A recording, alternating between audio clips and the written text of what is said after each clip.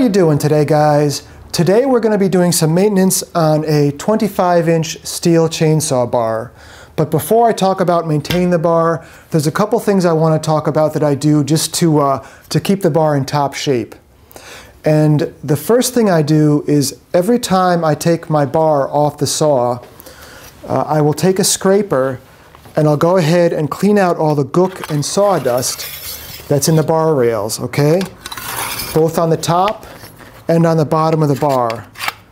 And I will usually do this moving away from the roller nose so I don't jam a bunch of junk in there. And the reason you do that is because you know, sawdust gathers in these bar rails and eventually it'll, it'll prevent the oil from moving around. So the oil's not going to move around. Eventually it's going to get hot um, and it'll actually seize your chain. When I was in high school, uh, we had a, a, Craftsman chainsaw, and I, I didn't know to, to, to, clean the rails. And eventually, the saw got so hot that the, the, the chain wouldn't it wouldn't move around the bar.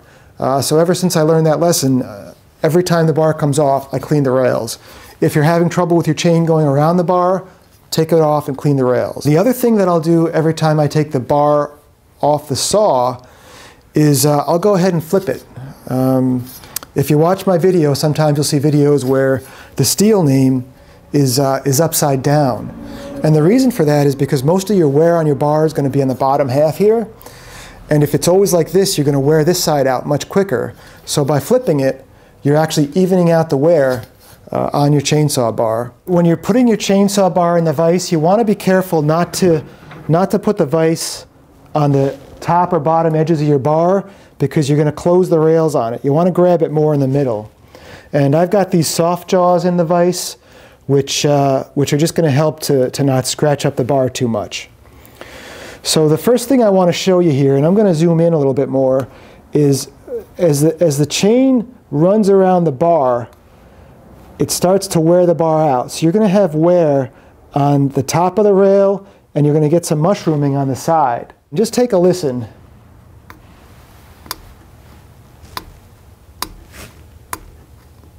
You hear my fingernail? I'm catching a little bit of mushrooming on the bar. So what we want to do is go ahead and file that. The maintenance we're going to do on our bar is to just make sure the tops are square, the top of the bar is square, and that there's not much mushrooming on the sides. There's a couple different ways you can clean up the mushrooming on your chainsaw bar. The first one is you can just take a file, hold it right against the bar, and just file that off and it, it doesn't take much if you, if you keep up with it. That's pretty much got it. The other thing you can do is get a guide bar rail dresser. And this one is made by Oregon, and I'll put a link to it in the description of this video. But all this is, is a file that's mounted in this little holder, so you can basically just put it on top of the bar and run it along the top of the bar to clean off that edge. Okay, and that's completely gone now. Now the other cool thing you can do with this tool is because it's got the 90 degree angle, you can put it on top of your bar as well and square it off.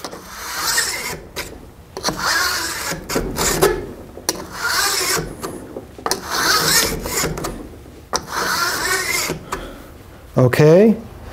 And again, you know, if you're a homeowner, you're probably not going to have much wear on the top of the bar, but just take a look.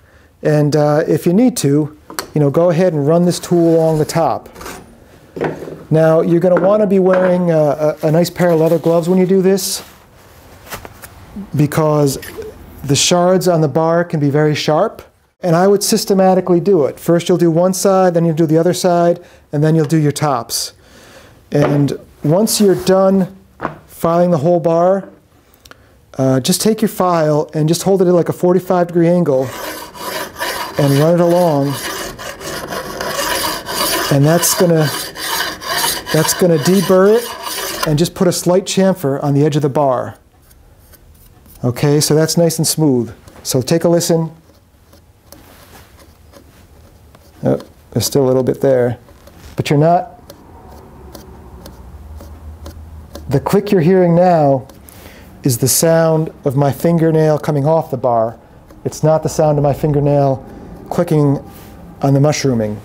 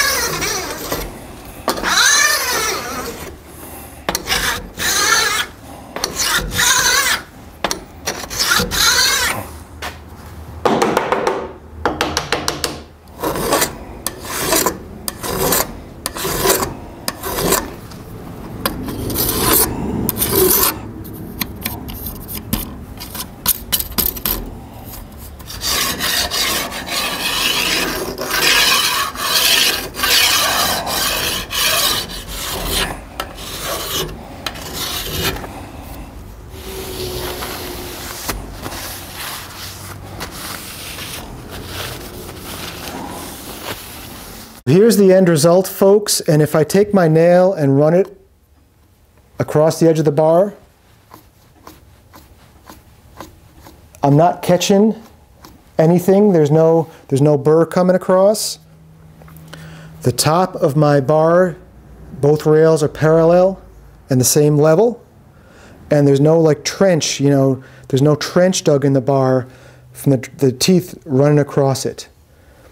And I'll be the first to admit, guys, I do not know everything there is to know about maintaining a guide bar, but I just want you to guys to be aware that there is guide bar maintenance that can be done.